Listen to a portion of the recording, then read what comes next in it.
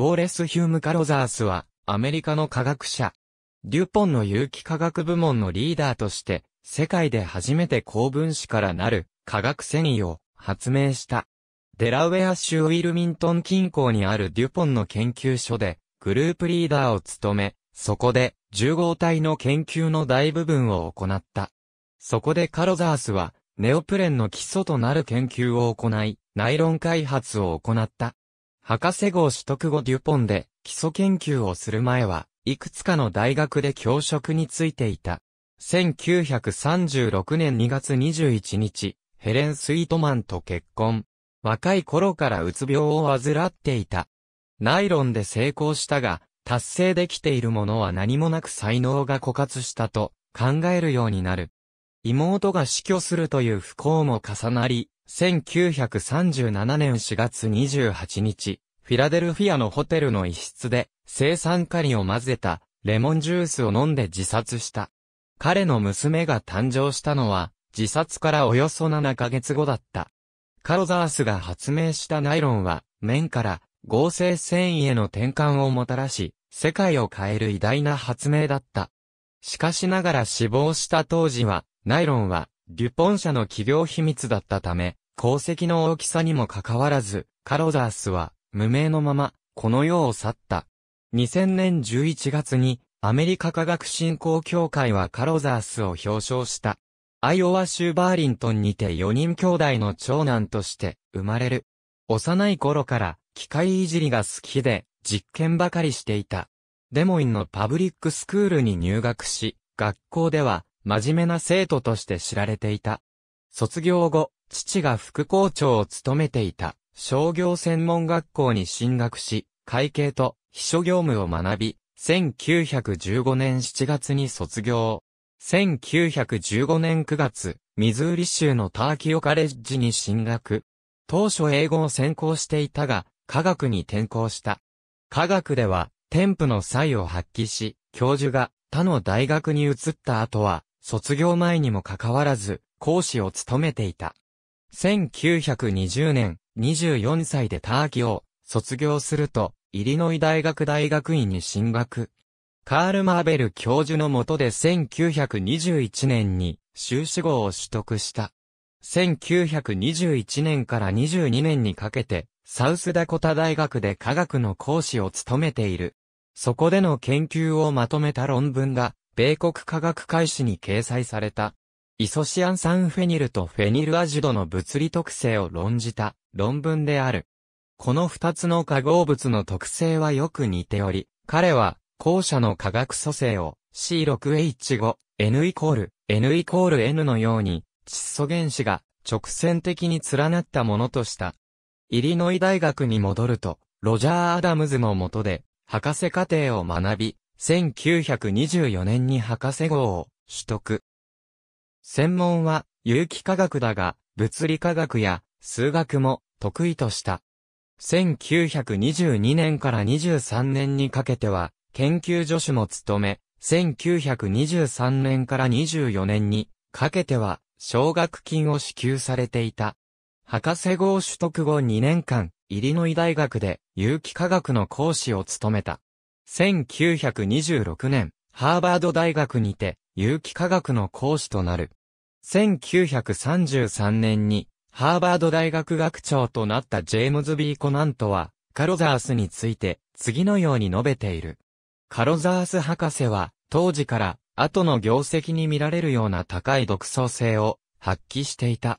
彼は、人と同じ道をたどることをせず、有機反応の一般的解釈を鵜呑みにしなかった。ハーバード時代から彼は重合反応と高分子化合物の分子構造について考え始めていた。1927年、デュポンは製品には直接結びつかない基礎研究部門を設けることにした。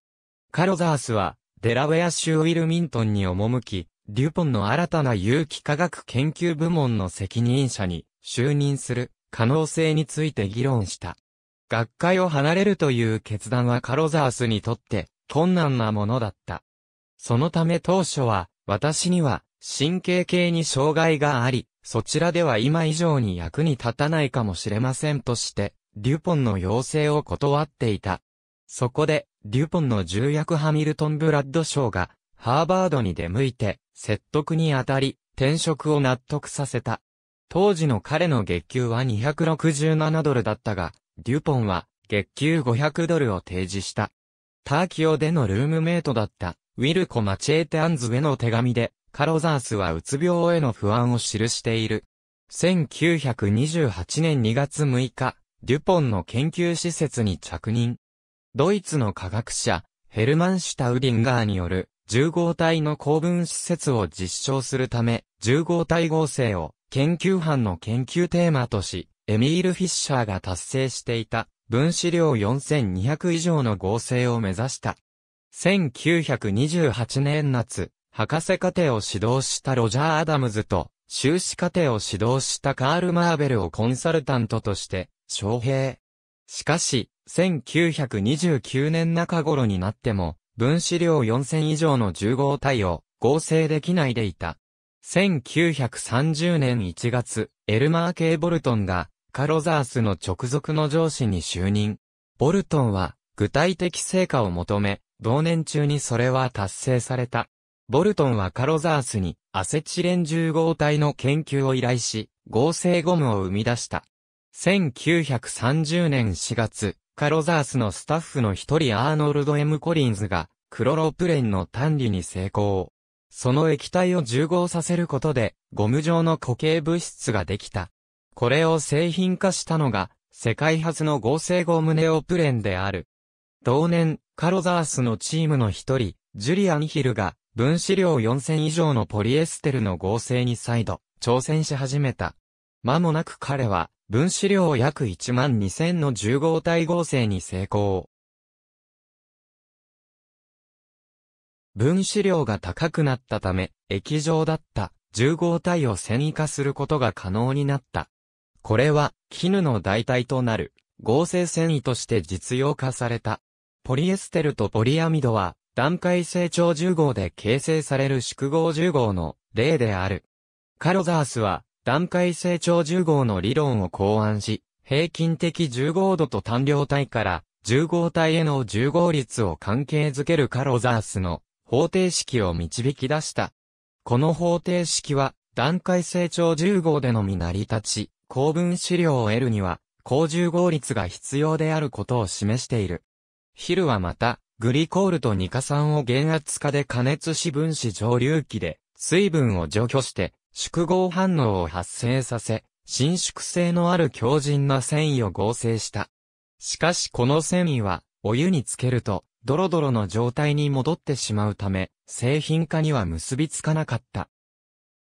これに落胆したカロザースは、数年間、重合体の研究をやめている。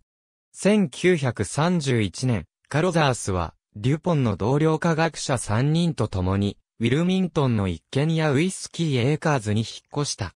彼は、全くの孤独ではなかったが、彼の憂鬱さはしばしばルームメイトたちを不快にさせた。親友のフランシス・スペンサーへの手紙には、科学以外の個人的経験について報告すべきことは、ほとんどない。田舎に、引っ越し、三人の独身男たちと住んでいる。彼らは、シルクハットとホワイトタイをつけてよく出かけているが、私は、家の中で不機嫌に座っていると書いている。その頃カロザースは、懐中時計に、生産化合物を忍ばせているとジュリアン・ヒルに言っている。カロザースは地位を維持するために必要である公演を、剣をしていた。1932年1月のスペンサーへの手紙で、私はニューヘイブンに行き、有機化学のシンポジウムで講演した。講演自体はうまくいったが、原稿を書くためにその前の週が丸ごと潰れ、神経を沈めるためにアルコールに頼らざるを得なかった。時を経るにつれ、私の神経質さ、不機嫌さ、動揺は悪化しており、飲酒して逃避する回数が増えているが、根本的解決には全くなっていない。1932年は今の私にとっては暗黒だと書いている。1932年、ボルトンはカロザースの雇用時の契約条件を変更し、基礎研究から製品化を視野に入れた研究へとシフトさせた。カロザースは自身がそのような研究に向いていないと考えていた。そこで、デュポンが関心を持っている少数の基礎研究に絞って研究することを提案した。この頃の私生活は慌ただしいものだった。人妻、シルビア・ムーアと恋愛関係になり、彼女は1933年に離婚。同じ頃両親が経済的に困窮したので、両親をウィルミントンに呼び寄せようとした。特に深く考えず、研究施設から 16km ほどのアーデンに家を買い、両親と共にそこに引っ越した。当時37歳である。間もなく、両親とは緊張関係になった。カロザースは独身になったシルビア・ムアと交際し続けており、両親は交際に強く反対していた。家庭内の緊張がカロザースを消耗させているのに気づき、両親は1934年春にデモインに戻った。1934年、カロザースは再び合成繊維に集中するようになる。今回チームはグリコールの代わりにジアミンを使い、ポリアミドと呼ばれる重合体を作ろうとした。ポリアミドはグリコールから形成されるポリエステルよりもずっと安定している。水素結合によって結晶質の領域を形成できる、ポリアミドの能力から、機械的特性も増す。したがって日常的に使える合成繊維を生産できる可能性があった。研究の結果、新たなポリアミドを発明。そのプロジェクトを主導したのは、W.R. ピーターソンとドナルド・コフマンだった。1935年、ジェラード・ベルシェがこのポリアミド研究を任された。1934年夏、カロザースは、この研究がうまくいっている最中、ナイロンを発明する前に姿を消した。仕事場に姿を見せなくなり行方不明になった。カロザースは、ボルチモアの精神科の小さな診療所で見つかった。うつ症状がひどくなったので、ボルチモアの精神科医に相談し、その精神科医が入院させたのだった。診療所から退院して間もなく、カロザースはデュポンに復帰。ボルトンは、ポリアミドの研究を命じた。カロザースは特に用途などを考えず、未知への挑戦として、線形の超重合体を研究し始めた。その研究は、科学の新たな領域であり、デュポン社はどんな形でも科学における、新たなブレイクスルーは会社にとって価値があるだろうと考えていた。その研究の中でカロザースは、高温でネバネバした固体になる超重合体をいくつか得た。そして、その溶融重合体に棒を浸して引き上げると、単繊維が形成されることが観測できた。この発見で、プロジェクトの中心はソレラ単繊維に移り、結果としてナイロンが生まれた。1935年2月28日、ジェラード・ベルシェは、カロザースの指導で、ヘキサメチレンジアミンとアジピン酸から半オンスの重合体、ポリアミド6から6を作り、これがナイロンと名付けられた。融点が高いため扱いにくかったが、ボルトンはこのポリアミドを製品化すると決定。製品化のためボルトンはカロザースにジョージ・グレーブスをつけた。結局、グレーブスがポリアミドプロジェクトのリーダーとなり、カロザースは解任された。1934年から付き合っていたヘレン・スイートマンと1936年2月21日に結婚。スイートマンは科学の修士号を持っており、デュポンにて特許出願を扱う仕事についていた。その直後の1936年4月30日、産業界の科学者として初めてアメリカ科学アカデミーの会員に選ばれた。科学への貢献が認められた栄誉だったが、同年6月になってもカロザースは、うつの症状に悩まされ続けていた。6月初め、不本意ながら、主治医、ケネス・アッペルのいるフィラデルフィアの有名な精神科の病院に入院。1ヶ月後、チロリアンアルプスに友人と共にハイキングに行くことを許された。計画では、ロジャー・ダムズとジョン・フラックと共に2週間のハイキングに行く予定だった。2週間後、二人が帰った後もカロザースは妻にも何も連絡せず、アルプスに残ってハイキングを続けた。そして9月14日、職場にいる妻の前に突然現れた。それ以降、会社側はカロザースが仕事を続けることは無理だと判断した。それでも彼は職場にしばしば顔を出した。そして妻とアッペル博士はカロザースを監視し続けることは無理だということで合意し、カロザースは再びウイスキーエーカーズに住み始めた。1937年1月8日、妹イゾベルが肺炎で死去。カロザース夫妻は、シカゴでの葬儀に参列し、デモインでの埋葬にも参列した。その後も、フィラデルフィアのアッペル博士のところに通っていたが、博士は、カロザースの友人に、カロザースが自殺しそうだと告げている。